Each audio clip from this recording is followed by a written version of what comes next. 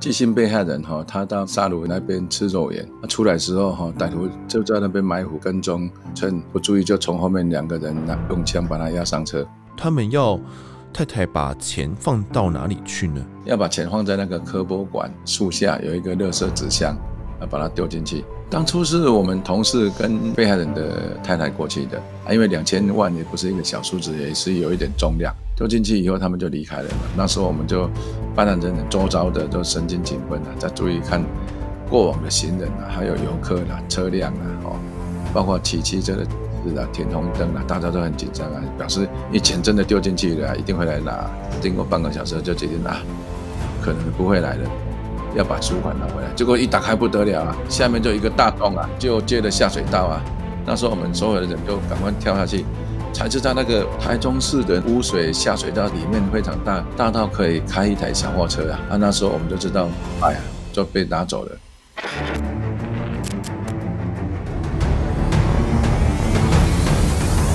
嘿，我在现场，电能选举及社会新闻的第一犯罪实况，为主持人陈峰的。《忍者龟》这部漫画哦，不知道是否曾经出现在你的童年之中？那《忍者龟》的故事起源啊，讲的是四只宠物龟呢被遗弃之后，被冲到下水道里面去哦，因为他们遭受到核电厂的辐射污染，变种成人形的乌龟。那么这四只人形龟呢，受到老鼠师傅的帮助啊，习得了高级忍术，他们就住在纽约曼哈顿的下水道里面，只有在夜间才出动打击犯罪。然而，现实生活中却有歹徒学习到了忍者龟的特性，干起坏事来了吗？现在介绍本节来宾是保安警察大队府会园区的警察队队长肖嘉诚，肖 Sir 您好，洪德好，各位观众大家好，准备好的话，就跟着我跟肖 Sir 的声音进到案发现场吧。在一九九七年九月十五号这一天，当时呢，台中的龙井警方他们接到了一个报案电话。这个报案电话是跟一起掳人案有关的，是发生了什么事情呢？小 Sir，呃，民众报案说有一个负伤的小孩被掳走了，我们就开始集合专案小组启动侦查。我们接到状况以后，我们就先派员到被害人家，还有网上跟警察局呈报，还有警察局专案小组。我们有那个保护的监听、攻坚、侦查各种小组展开侦查活动。那您当时是直接去到了被害人他的家里面，是不是？当时是由谁接听电话的？我们有分工很多组啊，有的是保护家属的嘛，啊，我是负责线上监听的。我们当初有少部分人会在被害人家，因为不能太多人在那边。哦，也是因为这个歹徒有警告说不可以让警方知道，我不可以报案，所以当时你们算是比较低调在进行这个侦查作为的，这样是吗？对对对，因为当初歹徒在恐吓电话就有讲啊，如果报警的话，就要对他们的小孩不利啊。这个富商是个怎样的富商呢？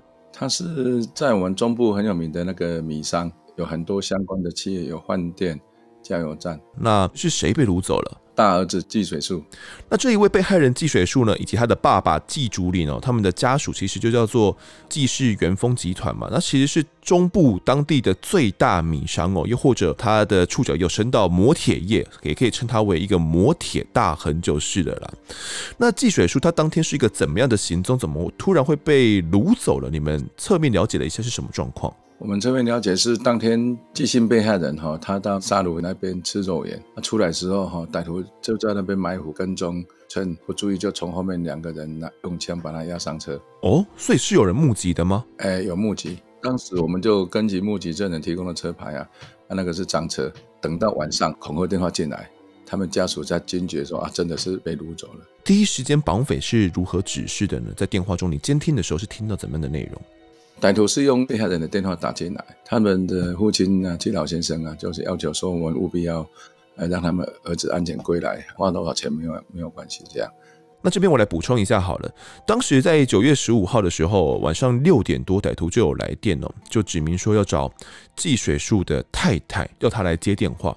歹徒说啊，现在季水树人就在他们手中哦，那要求呢家属准备三百万元的美金哦来赎回，同时要求家人啊到大渡桥的南边哦有一个桥墩，去那边拿取一卷录音带，那当时就是由季水树的太太找了一个朋友，然后一起去了。果然在桥墩底下就发现了这个录音带哦。那这个内容呢，就是肉票季水树他在求救的录音。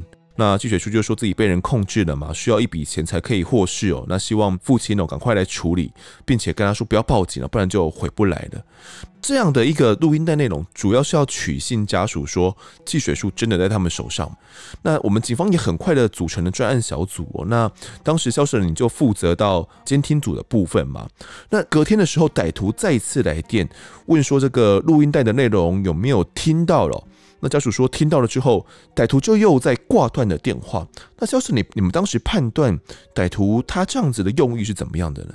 可能怕警方监听追踪，因为那时候的行动电话刚出来是零九零的，是很大台，演变到案发的时候是有黑金刚这种形状的行动电话，比较缩小的。不过那时候还是用烧录的，不是卡片，所以说他一只手机可以烧录一百个门号，啊，他每打一次行动电话就换一个门号这样。嗯，是。那么由于歹徒是用王八机来打嘛，当时你们即便是呃有监听，然后有锁定的可能门号是哪一个门号打出来的，但是也没办法确定歹徒到底是谁哦。那直到隔天九月十七号下午三点多的时候，歹徒又打来了，这一次是要求说太太呢到台中工业区招牌底下去拿另外一卷录音带。那这一次呢，录音带的内容就是要求被害人季水树啊念了一段当天报纸上面有关的中油气报总经理被撤换的一则新闻哦。那季水树呢还要求家里啊就尽量去配合歹徒的要求了。那太太听了丈夫声音之后，确定人质是安然无恙的，因为这个报纸确实是当天新闻的内容。于是，在隔天九月十八号的时候下午，歹徒再次来电了。那他说：“哎，如果三百万美金交不出来的话，至少你也要拿出台币三千万元吧。”那原本家属还是说：“啊，那不然我们就只有筹到一千万元啦。即便哦，他们是一个呃非常大的一个集团哦，但是能够筹出一千万元的现金也算是很不容易了。所以当时双方并没有一个交集哦，电话再次挂断了。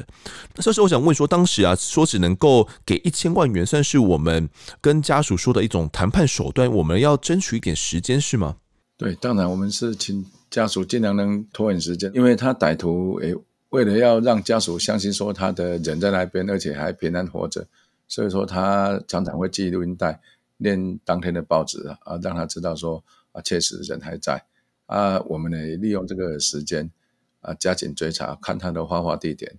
嗯，是。那可是发话地点，我们有办法掌握到大概是哪一个区域吗？那时候的技术还可以，可以掌握到大概在哪一个方向。那时候行政的技术还刚起步哈，黄维啦哈，那各各种东西还在还在摸索，还在摸索当中，所以只有一个蛮大的一个范围哦。到底是从哪边哪一户哪个确切的位置打出来的，还是没办法掌握的非常仔细了。那一直到九月十九号哦，也就是呃被掳走之后的第四天。上午的时候，歹徒又来电哦。那家属表示说，已经尽力筹钱了。那那个时候只就只能够筹到两千万元的现金而已哦。那后来歹徒就同意拿两千万来吧，就约定了取款的地点哦。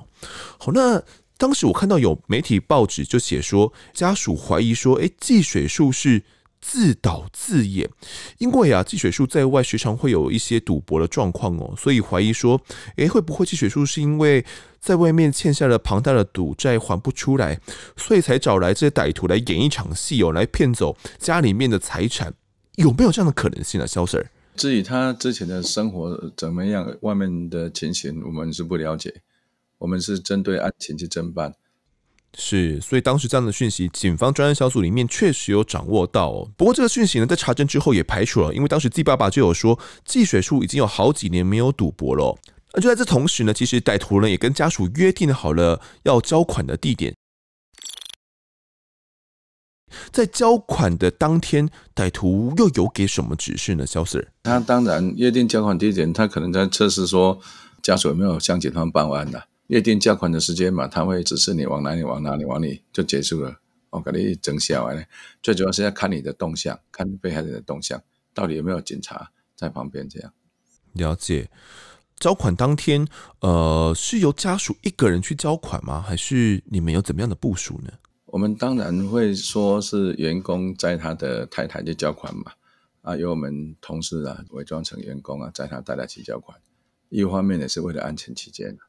嗯，是，也是怕说该不会太太去交款，林太太也被掳走了，那就不太妙了。所以当时我们就派了一个侦查员嘛，就贴身保护着太太去交赎金哦。那我看了那个报纸记载哦，当时歹徒确实就是要求太太，呃，就是要上高速公路嘛，然后去拿了一个录音带哦，录音带内容又有说要太太去前往彰化的一个茶语馆哦那边拿第二个录音带，不过第二个录音带还是没有说明交款地点到底在哪边呢，所以只只有要太太先找了一个汽车旅馆先休息，可是太太在汽车旅馆一直等到晚上七点多都没有等到更多的指示了，于是就先行返。家了，我觉得呃，可能歹徒会再来联络他。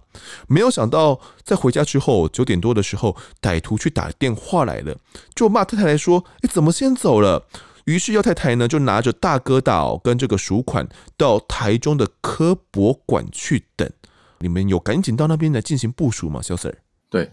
当这个指示的时候，我们就觉得说，应该这个地方是对的啦，已经是真的真的要交款了。因为科博馆那边游客比较多，警方埋伏也比较不容易。我们想说，歹徒会选在这个地方，而且他可能混在行人的里面，还是游客中间。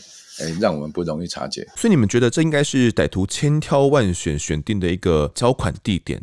那到了那边之后，其实歹徒又打电话来哦，又要太太进到一个超商里面，就这样来来回回又更换了好几次的取款地点。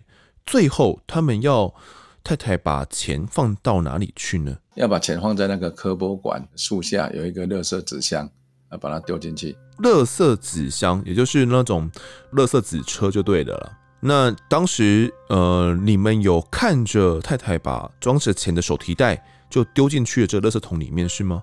当初是我们同事跟被害人的太太过去的啊，因为两千万也不是一个小数字，也是有一点重量，所以就有员工提。他一开始没有跟你说要丢在哪个地方，他就只是说你往前走，往前走，走到什么地方看到一个垃圾车的那个纸箱，就把钱丢到里面。丢进去以后，他们就离开了嘛。那时候我们就。办案人员周遭的都神经紧绷啊，在注意看过往的行人呐，还有游客啦、车辆啦，哦，包括骑骑车的是啊，停红灯啦，大家都很紧张啊，表示你钱真的丢进去了，一定会来拿，来拿一定会靠近啊。不过一直等，一直等，等到十五分钟过去，十分钟过去，十五分了。那时候我们现场的指挥官是一个刑大机动组组长张万根，他是一个很有经验的那个刑事干部。那我就跟他走，走，组长，组长，那个歹徒的细胞在你附近哦，差不多距离一百公尺而已。因为我们组长有拿一支行动嘛，啊，我们看那个位置就是距离很近，差不多一百公尺。发话的位置很近就对了。对对对，不过他就是左右看，那就看不到这个范围里面有人啊，继续在看啊，在等等等等到后来，哎，我说哎，讯号走了，离开了，几弄不贴啊，因为欧巴就我们那个同事，欧巴欧巴，你你那时候丢钱的时候有没有？看看你哪对不对？那时候在开火，怀疑是不是里面是下面是挖空的了。啊，我们那同事无线回答有啊，我打开的时候哈，看了个垃圾啊，有树叶啊。阿姨讲你弹有声我用弹了个砰起来呀，表示有底呢，不是没有底的啊。经过了半小时，提供安排啊，信号也离开了嘛，表示歹徒不在现场，不然就是把行动电话拿开，人还在那边。这个很多状况都可能发生。经过半个小时就决定啊，可能不会来了。可能又是试探的啦，哦，又是在试探我们，就请那个原来那个远警还有他太太过去把热枪打开，要把主管拿回来。结果一打开不得了啊，下面就一个大洞啊，就接着下水道啊。那时候我们所有的人就赶快跳下去，才知道那个我们台中市的那个防洪啊污水下水道处理系统真的非常的坚固，而且打那个里面非常大，大到可以开一台小货车啊。啊，那时候我们就知道，哎呀。就被拿走了。原来歹徒哈用他的租赁的小货车哈去偷了一台热色式纸箱，拿到他租处把热色式纸箱锯了一个圆孔，锯了一个圆孔以后，再用钻头把锯起来那个圆片用牵线把它绑住。当然不是绑一个孔了，绑几个孔才会坚固啊，不然你钱掉下去就没有声音，他人家就会被警察发现。所以他把天线绑住以后，上面他又很激情，又放了一些树叶。让人家看不到有那个痕迹，就放了很多树叶。当然，他人就躲在下水道嘛，下水道听到有东西掉了，砰一声，他就知道潜下来嘛。潜下来，他就从下面用那个骨头剪把那个牵线剪断，剪就自动掉下去。这个过程应该我们研判不用几秒钟啊，因为铁线把它剪断是很快的，剪三条它都掉下去了。因为两千万毕竟重量，所以说他的拿钱的过程不超过一分钟，他都从下水道打无线电请他们的同伙把他载走了。哦，也是因为这样子，当时你们看发话的位置才会在附近，但是我们的组长却都没有看到人。下次我想问一下，我们当时竟然看到下面有这样的一个洞哦，所以我们有试着说赶快绕过去，可能下水道的出口去拦截人吗？有啊，因为已经过了半小时了。不过我们还是不放弃任何机会了，我们就派人从下水道出去下去嘛，好才知道出口在哪里嘛。结果两三个出口嘛，啊，我们就看那个。下水道应该有淤泥淤积嘛，就看那个痕迹啊去追查，我就从那个好像是笃行路还是那边出来。那时候我们台中市的监视器还不是那么密集，调阅监视器方面也没有什么收获。过了不久，歹徒就把被害人释放了嘛。不过这个被害人很机警啊，因为歹徒把他释放的时候，就拿了好像一千块、两千块让他坐计程车回家，他就用。用他的指甲把它捏着，避免呃他的指纹印在上面。而我们警方除了把那个纸钞拿去采指纹以外，我们当然访问他啦。这几天他被压的过程怎么被压的？因为问他最清楚嘛。他是说吃肉人出来要上车的时候，好像就是用枪把他抵住了，说我他是刑警办案，要叫他配合办案，要请他上车这样。是，那上了车之后，歹徒就用了这个手铐哦，就把季水树给铐上了，并且把他的眼睛也都蒙起来了。那季水树怎么样去观察到更多的信息呢？他蒙起来以后，就把他头压低来，不要让他看到外面的世界嘛，好，眼睛也把他遮起来。那过程中，他就感觉有爬楼梯，应该是爬二楼嘛，就把他拘禁了，在。勒索的这几天中，哈，只有让他洗过一次澡。接近的时候，他眼睛也是被蒙着，好像印象中他有歹徒在地上钻孔啊，把那个手铐铐在那个地上啊。主要就是把手铐钉在地上，然后让这个他也没办法动，就对了。对，当然我们就问他，那你有听到什么吗？有没有什么可以提供我们的？因为我们要从这个各种的片段组合起来。试图去找出他的拘禁地点。你们当时问季水树，他有听到什么东西呢？他就说，每天早上大概几点啊，会听到热车车少女祈祷的声音，有时候会有听飞机经过的声音，表示那边可能是靠近航道。但这个航道真的太广阔了，我们这个在大海捞针捞了一两个月了，甚至我们当初也有跟着热车车的路线走。阿沿的路线走，再观察看有没有类似的场景，这样。嗯，是。那当时警方还有公布了一些拘禁相关的特征呢，希望民众可以提供一些线索，总共有十点哦，算是蛮多的。第一点哦，他说。他在被拘禁的前几天呢，都有听到一些电钻去钻墙壁啊，以及电锯去切割塑胶桶的声音。第二点，一楼呢有这个电动铁卷门哦，可以让车子直接开进去。而歹徒驾驶的呢是一个蓝色或者是绿色的福特天王星轿车哦。第三点是二楼呢隐约看到是一个浅色地砖。第四点是他被掳之后呢是中秋节哦，在中秋节的当晚呢，隔壁有人在唱卡拉 OK。第五点是中秋节当天以及隔天还有人在附近放烟火，以及第六点是我们刚刚提到的门口附近呢有垃圾车经过。第七点呢还有提到旁边附近呢有听到这个鸡叫啊咕咕咕的声音呐，以及第八点晚上十点过后那个地点就非常的宁静。以及第九点，我们刚刚有提到附近可以听到飞机经过的声音哦，然后还有第十个，他们经常可以听到有叫卖修猪雷啊、头油给这样的声音。不过，其实这样的资讯哦，虽然很多有十点嘛，但是要经过比对，是真能够比对的出来吗？当时我们有透过这样真的去找到凶手吗？所以这个很难，因为理论上特征点越多，我们比较能个化。如果说我们真的是找到那个案发地点。请寄水处去看，他也不知道是不是真的案发地点，有这有这个盲点。是，那当时除了这个方向在查之外呢，其实有分成好几个方向，头部在进行调查。其中一个就是下水道。哦，那个下水道，大家可能会觉得很好奇啊，哦，到底下水道怎么会变成取款通道呢？感觉要有一些相关的专业知识才能够去得知这方面的资讯嘛。那当时呢，台中市府公务局哦就有说。台中的雨水下水道系统啊，其实是相当庞大的哦。从有都市计划的时候呢，就开始陆续规划施工。最小的管线呢，直径是只有五十公分而已哦，一般人根本没办法通行。至于大型的下水道口径呢，则大概在宽啊有三米，高有两米那么大的一个箱涵建构而成。这些下水道大部分呢，都分布在河沟旁边。那汇集雨水之后呢，就会排到河沟之中哦。而当时科博馆下面的雨水下水道就是属于口径最大的。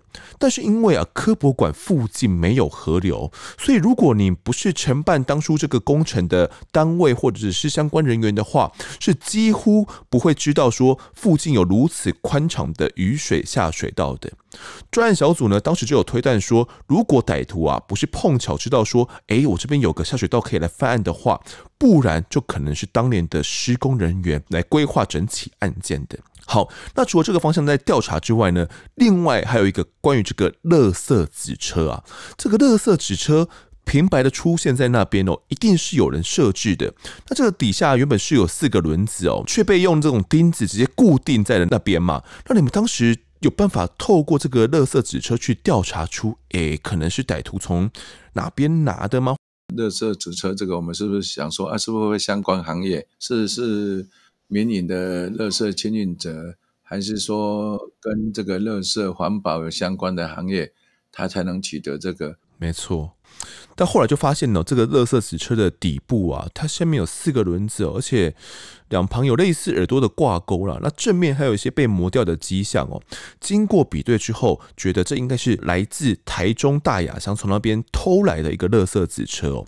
那为什么这样判断呢？是因为这一种乐色纸车啊，是环保署从一九九五年的时候送给大雅乡公所来使用的，所以呢，原本啊在正面印有行政院环保署证哦，以及这个编号哦。那透过比对之后，就发现啊，这样的一个编号，这样的字样，就是。来自台中大雅乡那边的垃圾子车哦，所以判断，哎，歹徒应该是从台中大雅乡那边来偷的，然后去研判附近的一些定员关系哦。既然这样子，我们这案件好像就卡住了，那也卡了差不多一个礼拜。一个礼拜过后，案件有什么样新的发展吗？这个时候刚好刑事局那边有捷报了，就是说根据那个歹徒拿给被害人的纸钞，而采到指纹。采到指纹，当然就有歹徒的身份了，通缉犯了，强盗的通缉犯。不过金彩已经逃到大陆那边，在那边生活了。而当时专案警方呢，就靠着指纹哦，锁定了歹徒的身份哦。不过这专案小组一查下去，才发现歹徒啊，其实有两个人哦，一个是徐伟军，一个是严连清。他们已经拿着假护照哦，在拿到钱的第二天就潜逃到大陆去了。那肖婶，我这边其实有个问题哦。当时我们警方锁定了这两个歹徒之后，他们是二十九岁的年纪哦，他们已经潜逃到大陆去了。其实，在十二月左右的时候就已经知道这样的身份了。那我们。有办法将他给弃捕回台吗？知道他身份以后，查出他用伪造的护照逃出了国外。他们在台湾犯案的时候，也都有跟伪造证件集团在作案以前，都是先买身份证，贴他们的相片，再去租房子。他每次两次的案件都是这样，透过两岸共同打击犯罪的那个协议，哈，请大陆公安帮我们查缉这两名嫌犯。后来在好像在广东还里查缉到了，哈。我们就透过基本协议，第三方的红十字会在马祖交给我们刑事局的办案人员。是好，当时这两个歹徒哦，从十二月中旬的时候呢，就被大陆的公安在广东的中山市给逮捕了，并且还有查扣到他们身上有两百多万元的现金。一直到隔年一月二十二号的时候呢，这两个人哦，才透过大陆的红十字会那边的遣返船哦，由福州押解到马祖了，由我们的刑事局人员呢到马祖把他们接引到台湾来归案。哦，那这个金门协议是什么？这边也来补充一下，就是它是一个基于人道原则哦，由大陆以及台湾的红十字会以非官方组织的身份呢，在金门签订的一个司法互助协议哦。那主要就是透过这种第三方的红十字会啊，把犯罪对象，好像是这种偷渡犯呐、刑事犯呐，或者是嫌疑犯哦，就是遣返回到我们双方的各自的地方这样子，所以称作为金门协议哦。那当时这个大陆的遣返船呢，就将徐伟军以及严年青哦，他们两个人给遣返到台湾来了，然后由刑事局干员带回去哦。那么专案警方呢，在同一天其实也有同步来发动搜索，因为这个案子呢，除了这两个犯人干的之外，我们其实还有锁定到其他的嫌疑犯哦，所以在同一天也有同步来发动拘捕，把其他的嫌疑犯呢也一并的拘捕到案哦，包括到刚刚前面我们所提到的这个伪造证件的这个集团哦。此外，还有另外一个共犯呢，黄赞能，他当时也有在台南监狱服刑当中。那我们将这两个歹徒啊，这两个绑匪遣返到台湾之后，有去了解了一下，到底他们囚禁的地点到底在哪啊？小 Sir，其实我们有真正找到了接近地点。我们后来为了勿枉勿纵哈，我们还是请那个嫌犯哦讲出他正确的地点。记忆中是在潭子乡那边，他头家村这边一个二楼的建筑物。带嫌犯到现场表演以后，照那个当初被害人提供的十大资讯相关的声音呐、时序啦、所闻，还有眼光一角看到的面人啊，都符合这个状况。而且地上也有他所讲的打钉在地上的遗迹，可见被害人讲的跟嫌犯的供述是吻合。是我们也没有抓错人哦，就是基本上透过他这个地点啊，就能够。确认真的就是他们两个干的。好，那原本其实警方一直在依照这个偷垃圾车的地点嘛，大雅乡，想说，哎，在这边偷垃圾车会不会就在大雅乡这边拘禁的地点哦？所以在这边大范围的去查找啊。那包含到说，也有可能是怎么水南机场？哎，因为要有航班经过嘛，有没有可能在水南机场附近？哇，当时就真的是大队人马，专案小组数百人哦，一起来加入这个搜寻的行列，却都毫无所获。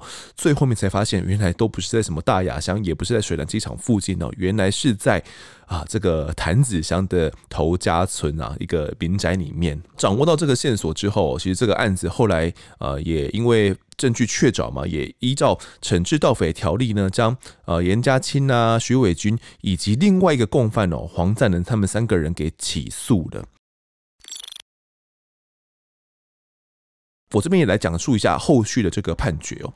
法官认定呢，严年轻哦，其实是因为当时是被通缉的身份哦，那经济有一些困难，其实一开始就计划了掳人勒赎案哦。他先锁定了榆林一名代书的独子谢有成来下手。他当时呢脑中有这样的计划之后了，他先回到台中哦，找徐伟军来讨论绑票计划。那当时呢，另外一个猪朋狗友啊，也就是第三个共犯黄赞能呢，就从高雄来哦，找他们一起来，可能来玩呐，来聊天。当时呢，黄赞能哦也缺钱呐，于是他也加入到。这整个计划当中呢，他们在偷得赃车之后呢，又悬挂了赃牌哦，并且买了一把王具手枪以及王八机之后，由徐伟军啊以及黄赞能呢，就将这个独子持枪给押走哦，并且勒赎八百万成功。当时放赎款的红色铁桶还是由徐伟军他亲自焊烧的。那在犯案过后啊，林延清以及徐伟军他们两个人食髓之味啊，他们就决定要犯下第二起的案件。刚好连年清就听说了连米商哦，季竹林他家里面哦很有钱，于是就计划去绑架他的长子。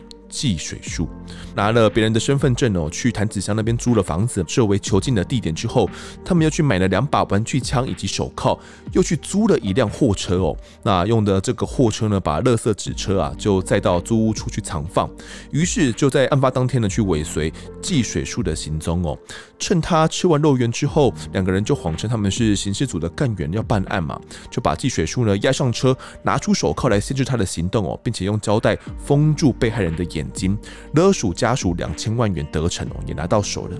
那法院后来判只犯下一个案子的黄赞能呢，十五年的徒刑。至于又犯下积水树掳人勒赎案的严年清以及徐伟军这两个人呐，原本一审法官呢，念在他们是没有撕票哦，而且饭后态度还算是不错，于是判两个人无期徒刑哦。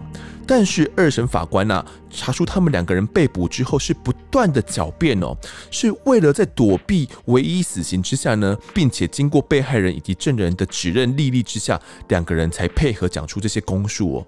因此，二审法官认为两个人是严重危害社会秩序哦，改判两个人各两个死刑。那这个案子最后面的判决结果是怎么判？我翻遍所有的报纸的报道以及判决书都没有看到公开的资讯。不过呢，我能够确定的是，在死刑犯的列表中我，没有看到两个人的名字哦，所以这两个人呢，最后面是没有被判决死刑的。可能在跟二审呢，还是判回到无期了。那在最高院最后面也驳回了他们的上诉，全案就这样子确定了。好，那就在最高院驳回上诉的时间呢，是在两千年的八月哦，距离鲁人勒赎案已经三年过去了，但是没有想到，在判决确定之前，季雪树他的家里面竟然又再接到了一次勒赎电话。季水树被绑了第二次的时候，是歹徒哈，刚好之前有到他家修理过轮胎的关系哈，知道他们家也没有钱，他刚好欠了一些赌债了，所以说他就到他家看季水树吃完饭走出来，他用手指当做枪从他背后把他抵住，说不要动，他就叫他往前走。季水树因为之前有有被掳人的经验呢，还警方跟他说不要激怒嫌犯哈，歹徒啊，以免引起他的杀机，尽量要配合他，找时间来收证。哦，所以说他就很配合，随着歹徒的指示往前走，走到一台福特的轿车的后面，歹徒就叫他打开后车厢，爬到轿车，就把后车厢关起来，就把他载走。载走拘禁以后，就开始打那个恐吓电话给被害人的家属。他第一通电话又打给他太太说：“老婆，我哥给我们报警啊！”他太太以为在开玩笑，怎么可能是会这样？后来是他人又没有回来，哦，才知道真的被绑这样。那家属也是第一时间就跟警方这边来报案了，是吗？他因为有了之前的成功的经验呢，他还是很相信我们婚籍的人，就马上报案。那这一次歹徒在电话中是怎么样指示？那又怎么样去跟家属来沟通呢？当然一开始都开很高的价钱嘛，啊，因为家属呢有第一次的谈判的经验呐，他就跟歹徒啊一直杀价了，杀到后来哈，可能杀到好像是新台币三百万。好，当时确实是谈妥说三百万元要来交付赎金呐。那前方也有威胁哦，说，诶，如果隔天晚上哦十一点前没有把钱准备好交出来的话，我就要把这个赎金提高到八百万元。所以感觉这个歹徒对三百万元就很满足了，也是为了去威胁家属说要你们加快你们筹钱的速度嘛。所以哦，我们真的是很快的，家属就马上准备好了三百万元的现金哦。对。那很快从他相关行业哈就的筹到了三百万了，因为这次的价钱比上次差很多。嗯，这三百万元准备好了，交款当天又发生了哪些事情呢？交款当天我们还是请上次那个绰号叫欧巴的同事哈，给他太太去交赎款，当做他公司的员工去交赎款。当然歹徒还是为了怕说有警察跟监呐哈，所以说他一直在改变交款地点的啊，一直到。晚上了哈，他开到一个桥面上啊，只是被害人家属停车，他就叫家属把钱丢到桥下。啊，我同事看那个桥下，哦，距离上五十公尺高啊，啊，下面有看到一台摩托车在那边，因为有灯光嘛，也暗嘛。我们的同事说怕掉下去以后哈，因为高度那么高，跳下去也来不及，可能人也会伤亡，车子在上面也下不去。而且下去的话也没有办法在河道行走，因为歹徒很聪明啊，挑选了这个河床的底下，而且是有高桥的地方，让警方没有办法跳跃。派警力去追踪的时候也缓不济急了。桥下面的河床也没有监视器。那时候我们同事就请他太太跟他说：“哎，阿伯人我这个交款地点的什么理由是说，如果掉下去不准的话，被河水冲走怎么样就拿不到。”他太太就跑出来我说：“你那还是问当地的在七块买呀？”他还是不计较那个金钱的损失，没有思考就把钱丢下去了！当然，歹徒看钱丢下来，把它拾起来，骑摩托车就扬长而去了。那当天晚上呢，歹徒其实一开始哦是要家属呢把三百万元准备好之后带到。彰化这个深港乡一个全新工业区附近哦，哦，那我们的这个干员欧巴嘛，就陪着太太要去付赎款哦。那从这个彰化一直一直开，一直开，绕到天都黑了，都还是没有交到。但是后来呢，他又突然叫这个妻子哦，开着车从彰化交流道开上了高速公路哦，往台中方向行驶。一直等到开到一九一点三公里的时候呢，就叫他把车子停下来哦，就停到路边，那边就刚好是彰化市宝阔路，我就要他把这个钱呢丢到桥下面去哦。那后面就是刚刚萧社所讲的这个情形嘛。那这一次我们交付三百万元的赎款之后，也算是蛮顺利的嘛。季水树他有平安的获释吗？好像是当天晚上半夜还是隔天晚上半夜，歹徒又打电话到被害人家，说把他的先生丢在好像什么公庙外面，请他们去摘。他们家属就半夜连夜就去把他摘回来。啊，因为有了第一次的经验哈，他也听我们的建议哈，在遇到有歹徒的话哈，就尽量不要记录他，好引起他的杀机，最好配合他，让他没有戒心，再找机会收证，看有没有什么线索，等获释的时候提供给检方。所以说他被。压在后车厢的时候，他就在后车厢乱抓，因为漆黑一片，不知道后车厢有什么东西。有抓到东西的时候，嗯，拿到东西，他就把它藏在内裤。他被获释了以后，就从内裤陆续掏出了很多裸西啦、喷剂、罗赖吧啦。后来我们发现一个喜帖，哇，我们喜出望外，因为喜帖有住址啊，也有结婚的人，还有宾客的住址姓名啊，就很高兴，就按这个住址去看，哎，果然看到。一台那个计水书讲的同行车啦，啊，我们就开始展开侦查，啊，确定歹徒就是那个订书机工厂的侄儿，哦，他就是因为欠了朋友一些，好像三十几万吧，这样查到嫌犯以后，我们就在工厂的顶楼，他的住宿的地方，啊，查到了。大部分的赃款这样好，这个歹徒就叫做何进南呢，积欠了自己的亲戚有三十六万元，因为被逼急了，然后支票也到期了，没有钱可以还，所以他曾经有帮他们修理过这种运粮卡车的轮胎嘛，所以对他们家里面是很熟悉哦。在掳人案的前一天晚上呢，六点的时候，他其实。原本是想说去偷个东西而已，他就独自潜入到季家里面去哦，想说啊，里面可能有一些珠宝啊，有一些现金可以解他的燃眉之急嘛，所以他就晚上就侵入了季家要来行窃，没有想到却被人发现哦。那这一位歹徒何金南呢，在匆忙之中也只能逃逸。但是他实在是被赌债逼急了，所以他又有了绑票的念头。他原本是想说要去绑架季竹林的，却阴错阳差去绑了季水树。因为当时刚好看到季水树是寻完了米仓之后嘛，从外面返家哦，进入到厨房里面要用餐，所以他才会戴着头套哦，那用手指当手枪呢，就把这个季水树给押走了。最后面他仍然是栽在警方的手上。那这个季水树呢？他这样被掳了两次哦，也真的是蛮衰的。那在经历过第一次的掳人案之后呢，他就想说，他想要去去除他自己的霉运哦，他还特地取了一个片名哦，叫做。季佑安，我就想说啊，要保自己平安嘛，所以即便身份证上呢仍然是叫做季水树，我没有叫做这个季佑安，但是取这个片名就是希望说自己真的能够平安嘛。所以这三年多来呢，他其实行事都很低调、很小心哦。为此呢，他还聘了这个司机兼保镖，希望说啊，这个保镖可以保护自己的安全嘛。房子的周围呢也都有装设监视器，除非啊。是重要的场合，不然也都很少出门哦。那他也没有跟人结怨，那他就搞不懂说，到底哦为什么歹徒会一直盯上他哦？在第二次被绑也获释之后，他也赶紧去吃了一个猪脚面线去去去晦气。好了，这两集呢，其实我们谈了两起掳人案哦。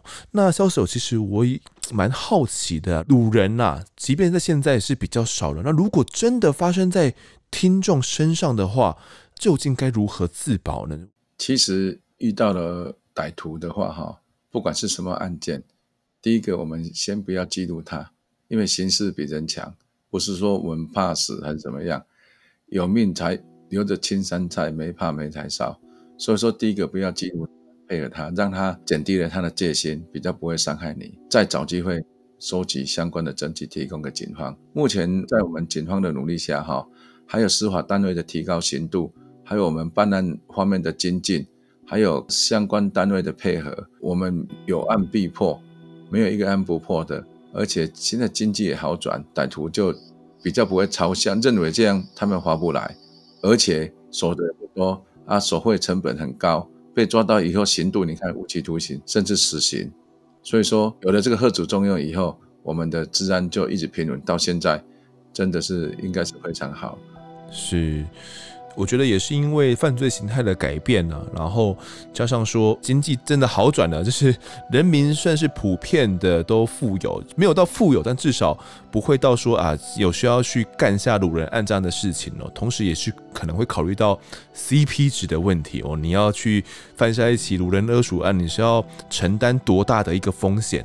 哦，所以可能很多的犯罪集团他们不愿意去承担这样的风险哦，他们觉得我去开设一个诈骗机房都比这个好赚哦，干嘛去做这种行为呢？所以现在这种掳人案在台湾来讲真的是非常非常稀少，在近几年我几乎没有听到还有类似的一些掳人案哦。呃，如果听众真的不信你的家人或是你自己遇到这样的辱人案的时候，呃，就像刚刚小水者说的哦，就是第一时间还是要保持冷静。如果可以的话，在不激怒歹徒的情况之下，尽可能的去掌握到更多的线索哦，不管是用看的、用听的、用闻的，都把它给记录下来，记录在自己心中哦。等到平安获释的话，这些线索就可以提供给警方，让警方来进行更进一步的调查了。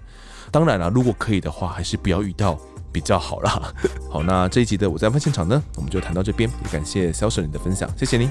好，谢谢洪德，再见。好喽，如果各位喜欢我们节目的话，欢迎到 Instagram、脸书以及 YouTube 来搜寻订阅。我在案发现场。